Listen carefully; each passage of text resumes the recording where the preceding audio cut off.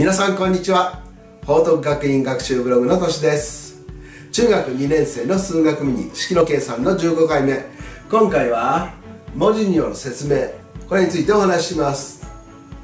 2桁の自然数などその自然数から10の位と1の位の数字を入れ替えてできる自然数。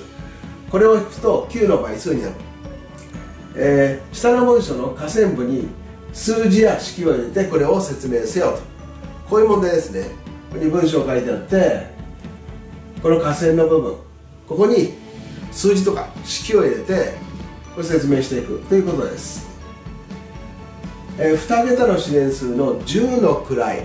この数字を A1 の位の数字を B とするとこの数は10の位が A ですから10が A 個あるので 10×A つまり 10A プラス B このように表せますよね。この2桁の自然数を文字を使って表す方法。式の計算の14の方で扱っているのでそこで確認してみてください。そして10の位と1の位を入れ替えてできる数。これは10の位が B になりますから 10B プラス A こんなふうに表せますよね。もちろん A プラス 10B これでも構いません。そしてこの2数の差つまりこの 10a プラス b から 10b プラス a を引くとということなので前の部分が 10a プラス b 後ろが 10b プラス a これを引き算すると 9a マイナス 9b になります。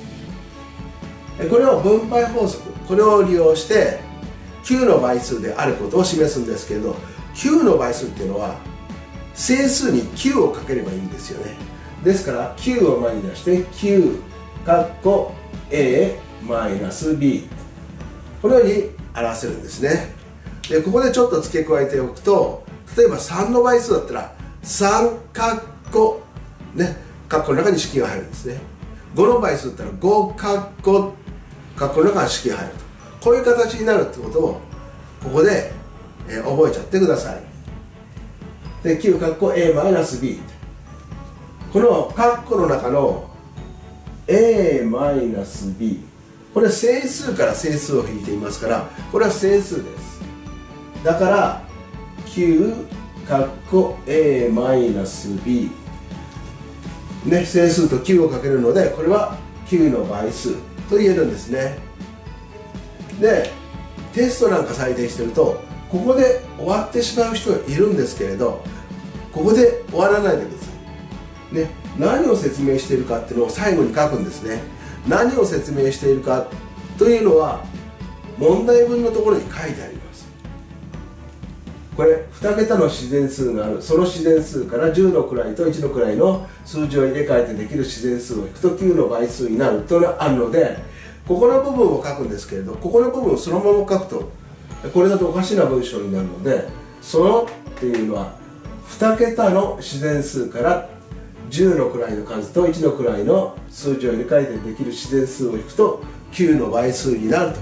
この部分をしっかり書いてください。したがってこれをつけて2桁の自然数からその10の位と1の位の数字を入れ替えてできる自然数。これを引くと9の倍数になる。えここまでかけていて正解になります。今回は文字による説明、えー、穴埋め問題で解いてみました。今日も最後まで見ていただきどうもありがとうございました。ではまたお会いしましょう。さようなら。